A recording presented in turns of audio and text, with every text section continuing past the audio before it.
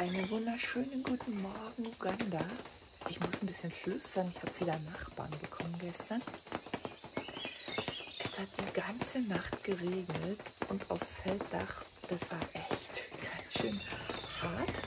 Aber es nützt nichts. Die Menschen freuen sich total über den Regen und meinetwegen kann es weiter regnen tagelang, denn ich verlasse heute Moroto und fahre zurück Richtung Entebbe.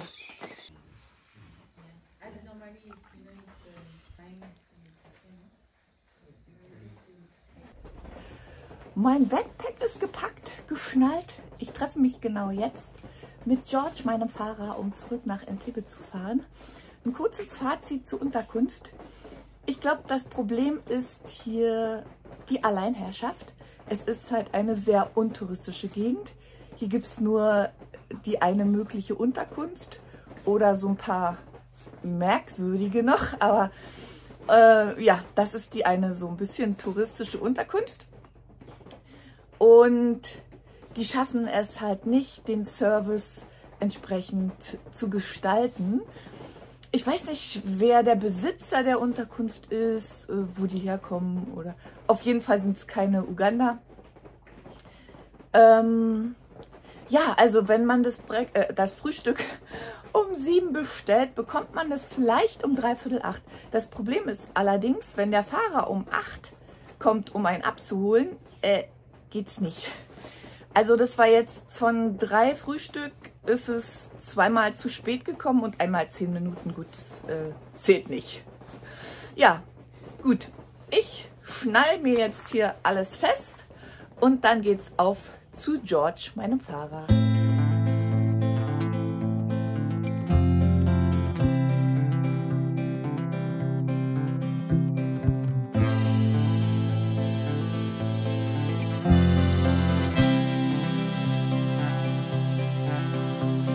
I'm traveling around the world, every day there's something new. Like a child, I learned to roll and turn all the things I thought I knew. There are so many ways to think and live, it's so colorful and bright.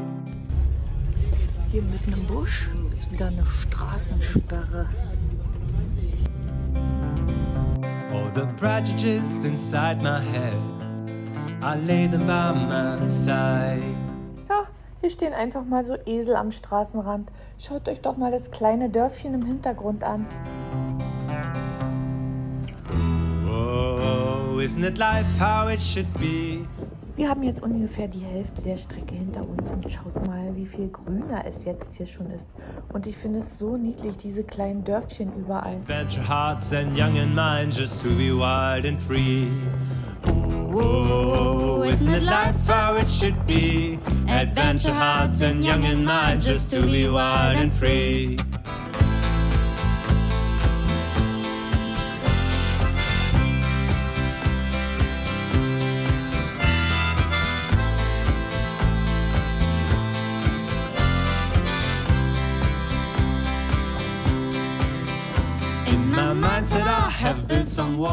Jetzt fahren wir durch eine größere Stadt und schaut euch das mal an.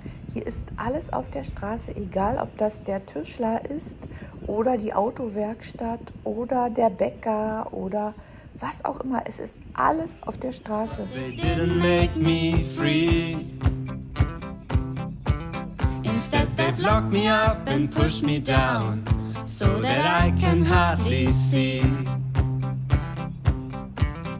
Now I've had to leave my comfort zone, and these borders start to break.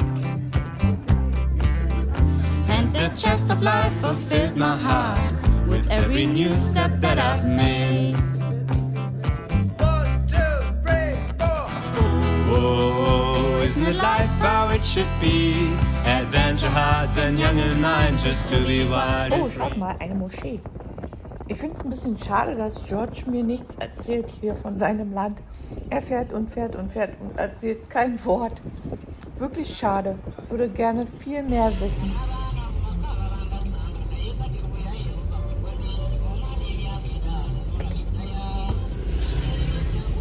Die Straße war gesperrt die ganze Zeit und alle Trucks haben hier geschlafen. Und jetzt müssen wir erstmal alle hier durchlassen, weil die da vorne alles zumachen. Also die versperren sozusagen den Weg. Und wir warten jetzt hier, dass wir weiterfahren können. Hier sind wir übrigens in der Gegend von Sipi, von den Sipi Falls, Mount Elgin, wo wir am Dienstag schon waren und losgefahren sind. Das Video könnt ihr auch sehen. Ich kann es euch oben gern verlinken. So, ich sitze hier im Auto. Mein Fahrer ist irgendwie weg. Der ist kurz rausgegangen. Aber der ist hier nirgends. Ich weiß gar nicht, wo der hingegangen ist. So, jetzt ist eine halbe Stunde später. Die Trucks fahren immer noch. Oh je, Afrika, Geduld. Es geht weiter. Juhu. Oh, isn't it life how it should be? Adventure hearts and young in mind just to be wild and free. So, ich denke, die Hälfte haben wir geschafft. Wir sind jetzt hier wieder in Mbale. Ich kann es nicht aussprechen. MB Mbale.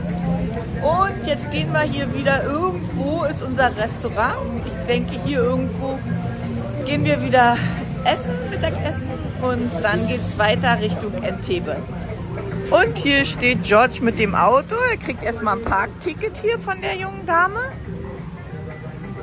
Und der Mount Elgin schläft heute in den Wolken.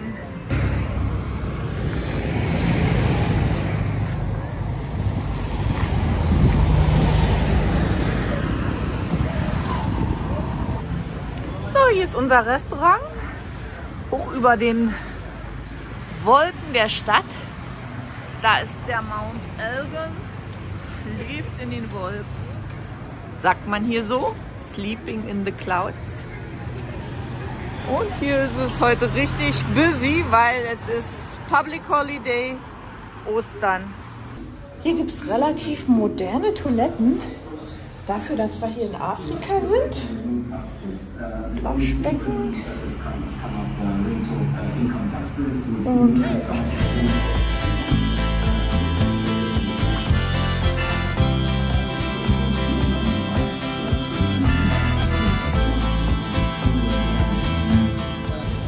Es gibt Rindfleisch, Kohl, gekochte Bananen und Reis.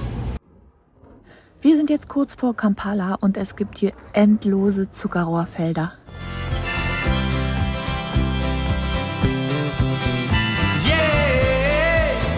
Wir sind jetzt kurz vor Jinja und in Jinja kommt der Nil aus dem Viktoriasee und fließt weiter Richtung Nordafrika.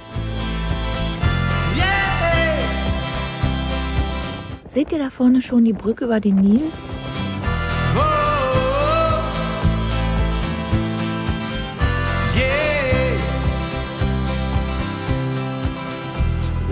Those things I have learned so far is that I can trust in God. There is always a provided way. Wir fahren jetzt langsam Richtung Kampala. Hier sind jetzt die Vorstädte mit ihren Slums. And to trust is just the start. The encounters. In Kampala gibt es eigentlich alles. Es ist eine große und moderne Stadt. Hier gibt es sogar eine Gärtnerei. are impossible by chance. When I thought that I have lost my way, Somebody took my hands. Oh, oh, oh, isn't it life how it should be? Adventure hearts and young in mind, just to be wild and free. So, hier sind jetzt die Slums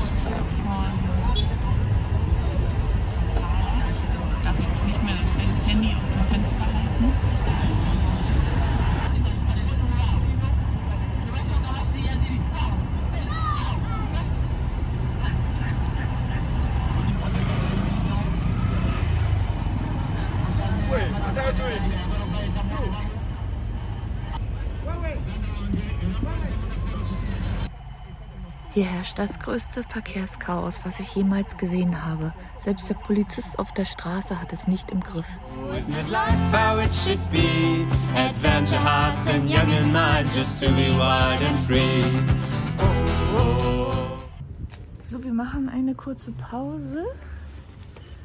Und ich wollte mir mal den Sonnenuntergang anschauen. Isn't it life how it should be? Adventure hearts and young in mind just to be wild and free. Oh, isn't it life how it should be? Adventure hearts and young in mind just to be wild and free. Hey! Okay, das zweite afrikanische Klo auf meiner Reise. Hört ihr es? Anstelle sich mit mir zu beschäftigen, hört George lieber Fußball.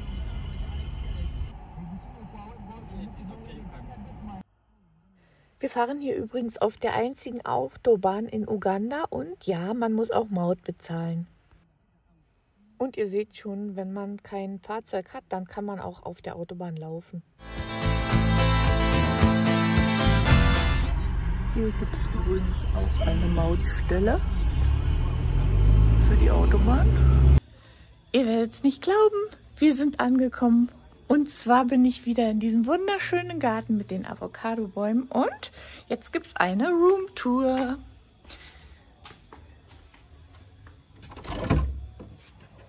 Hier liegt mein Rucksack schon.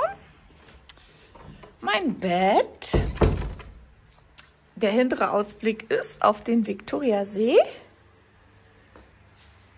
Und mein Bad. Mit Dusche. Schön, oder?